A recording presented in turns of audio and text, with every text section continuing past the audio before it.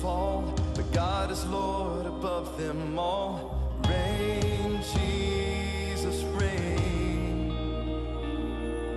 The kingdoms of this world become the kingdoms of the risen Son.